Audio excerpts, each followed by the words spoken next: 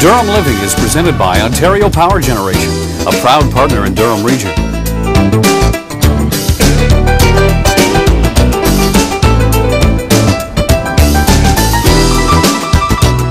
Coming up on Durham Living. Coming to the rescue. Lifelong learning.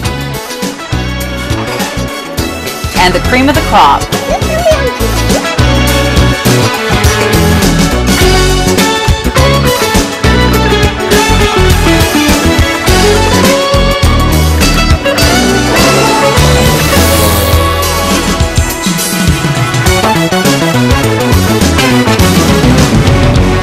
Hi, I'm Carolyn Ellis. And I'm Jerry Archer. We're your hosts of Durham Living. We're back for another exciting look at the people and places that make Durham Region a great place to live.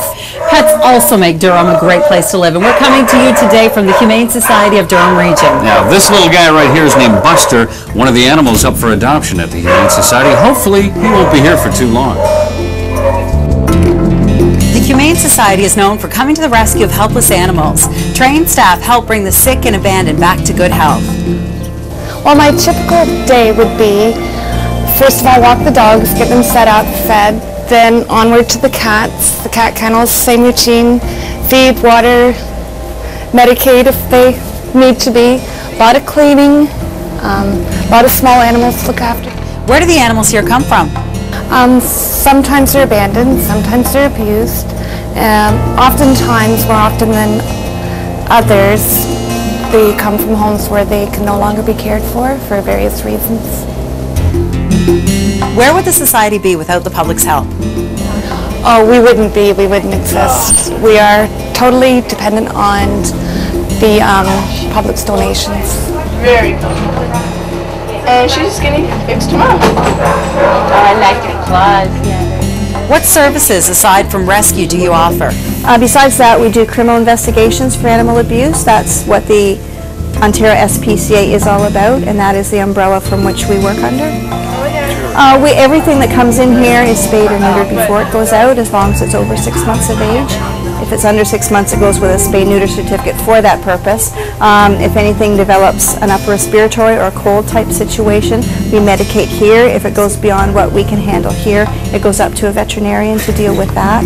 Uh, anything that happens to come in that's, that's injured that needs medical treatment, it goes up to the veterinarian for that. The Society is a registered charity. The organization doesn't receive government funding and turns to the public for support. Animal lovers can help out by making a direct donation or by participating in special fundraising events.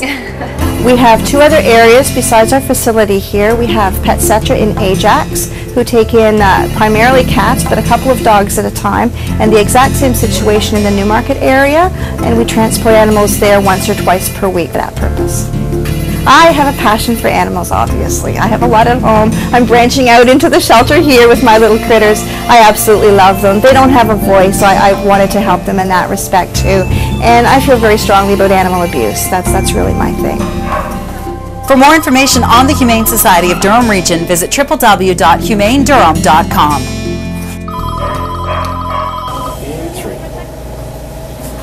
You know, they have something here called a pet sponsorship program. Oh, what's that? Well, it gives businesses and residents a chance to support the animals financially before they're adopted out to a good home. Hey, that's a great idea, but did you know that the inspectors and agents are actually appointed by the Solicitor General of the province? Hmm, this is quite an education that we're getting here, Well, isn't hey, it? good segue.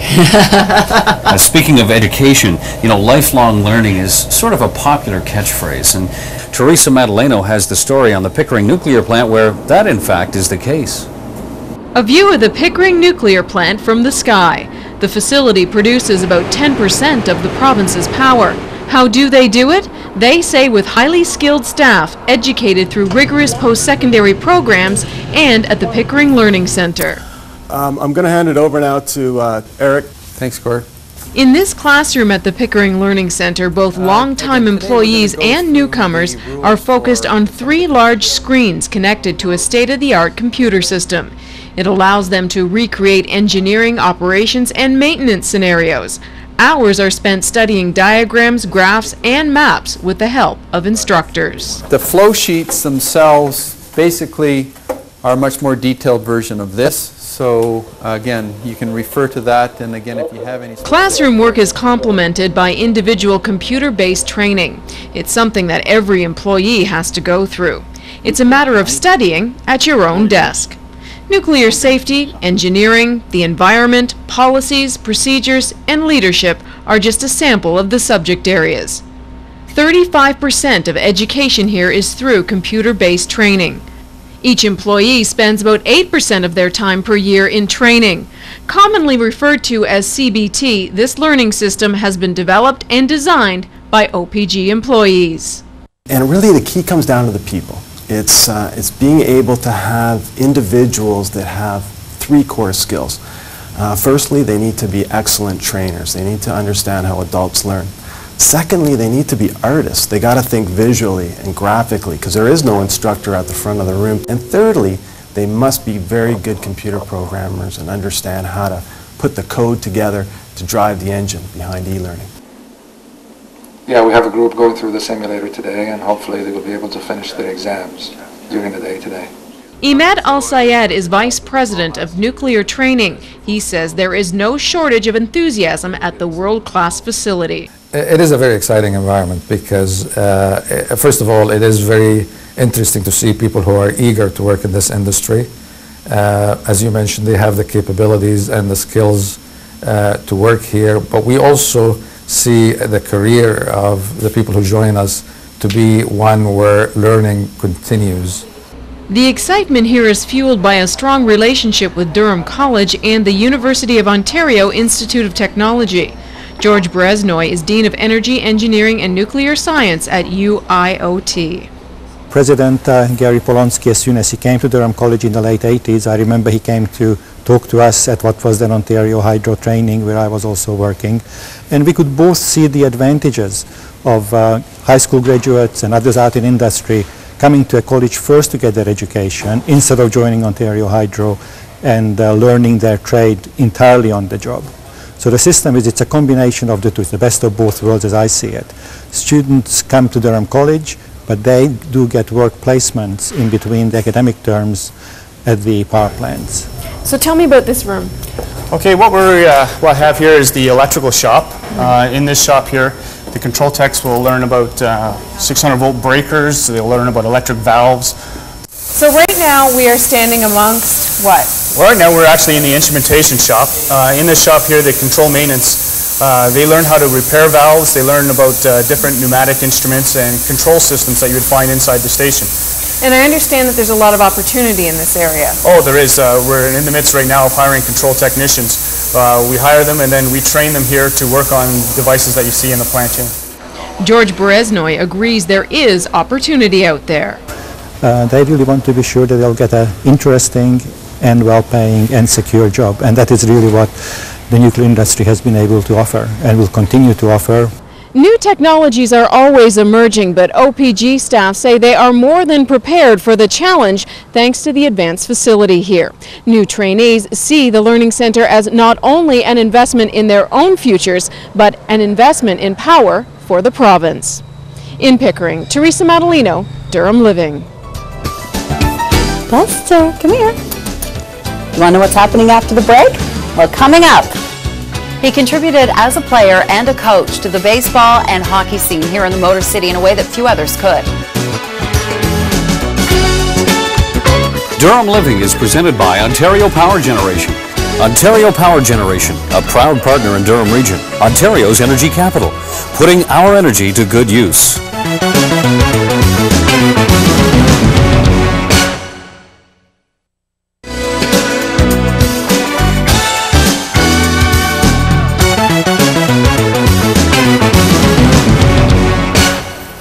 Well, this is Sandy, one of the beautiful animals here at the Humane Society, up for adoption, Carolyn. Actually, Sandy has been put on hold, which means that Sandy's going to be going to a new and loving home very soon. This beautiful animal. Ah. Well, from man's best friend to a man who made history, it's been nearly 30 years since Jack Army Armstrong passed away.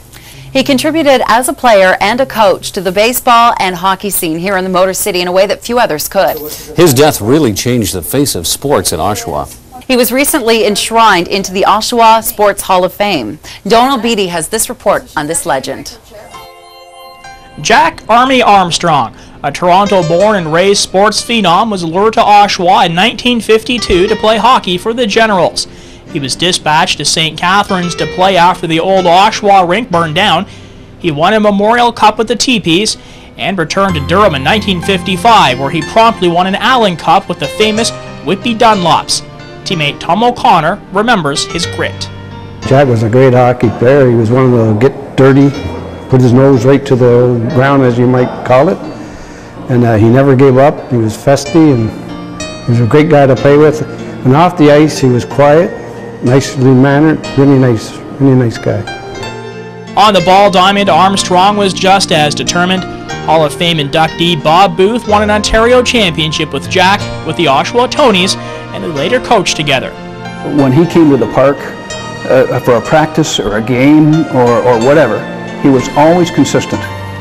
He was one of the first there to, to show up for a practice, worked hard, and, uh, and it, was, it was the same in a ball game. He brought his A game all the time, and he was the kind of guy that if you, uh, if you wanted to change the rules a little bit and start uh, the spikes flying or the ball thrown at your head, Jack was right there, and uh, he'd make you very sorry that uh, you'd changed the rules and started to get a little snide. Jack's love of sports was second only to the love of his family. Wife Jean has been waiting for this induction day since his death in 1976. What he used to always say to me is, I, I'm so happy helping kids, and I know they're not running around at nights and doing things they aren't supposed to be doing. Oh, he says that, at least I, I know. And, and I, those kids, I keep coming up, I see them still. Married now with their own kids. It's brought a lot to it. Because he loved um, coaching, he loved, he liked to take kids off the street. And he liked to um, help everybody, and um, he, lo he just loved sports. Jack's sporting interest took him to the racetrack where he was co-owner of a standard bred horse, Tammy Dew. While it's said horse racing is the sport of kings, friend George Braben calls Jack Armstrong a king among men. He was a king of the guy. He, he was he was um, he was a quiet guy, but uh, he had a good sense of humor, and, and, and we had a lot of laughs.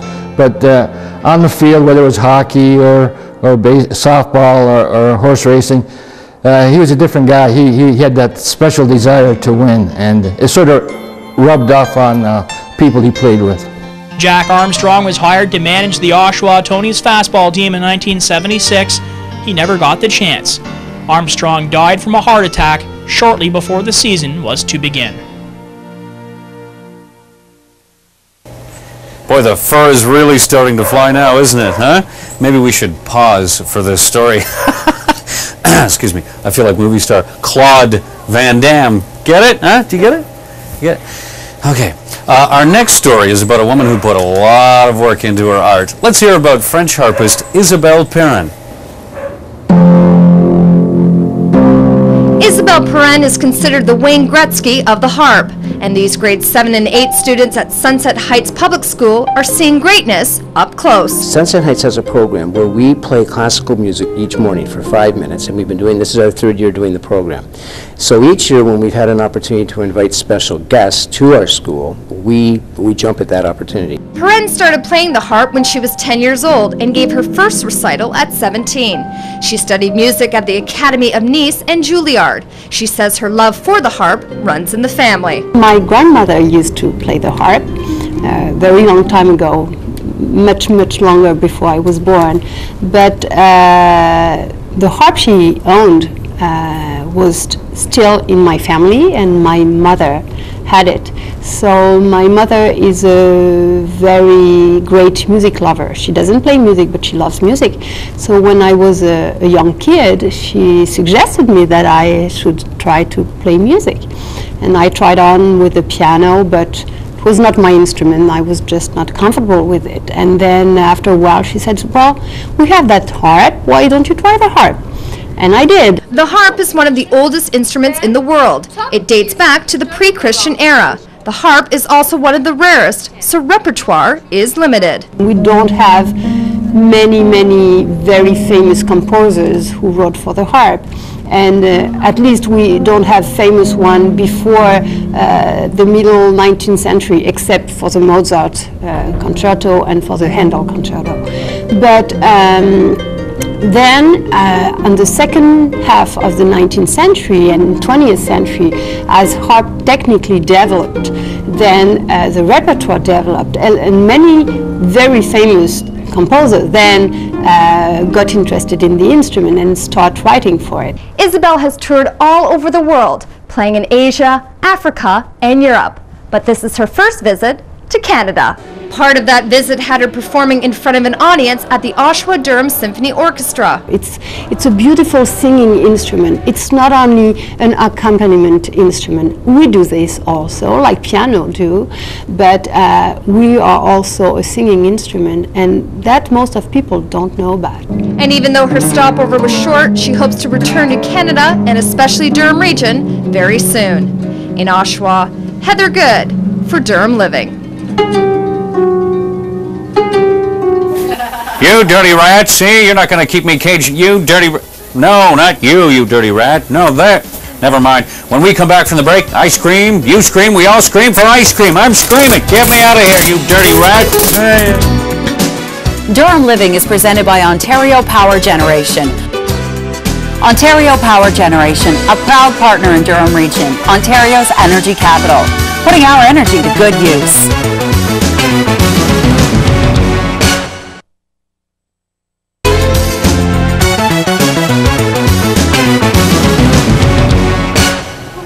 Welcome back to this edition of Durham Living. I'm Jerry Archer along with Carolyn Ellis. We're here at the Humane Society, and Carolyn, none of this could happen without these wonderful people here volunteering. You got it. This group of people is very hardworking. What is it exactly that you have to do here? Well, basically, we clean cages and uh, litter pans and walk dogs and everything, and just look after the animals. Basically, you're here to give them love, right? Well, do you like ice cream? Hey, who doesn't love ice cream? Ice cream, we all scream for ice cream. Greg Rist has the uh, scoop in this story.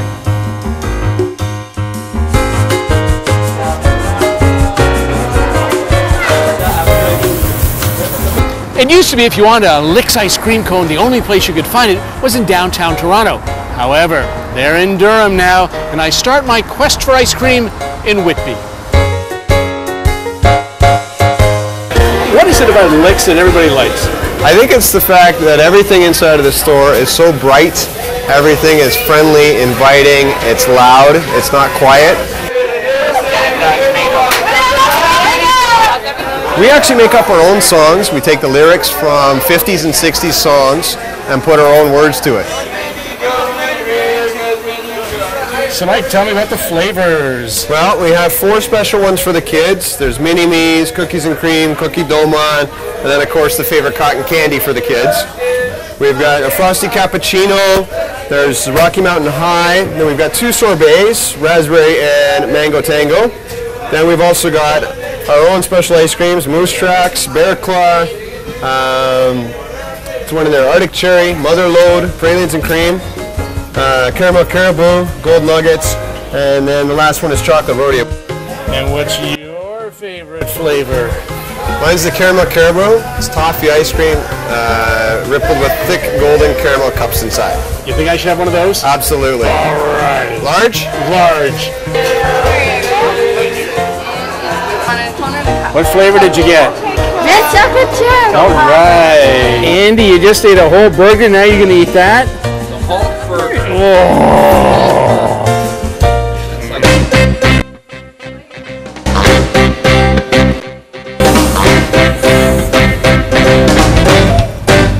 Next stop, Lickety Splits in Courtice at Highway 2 and Town Line.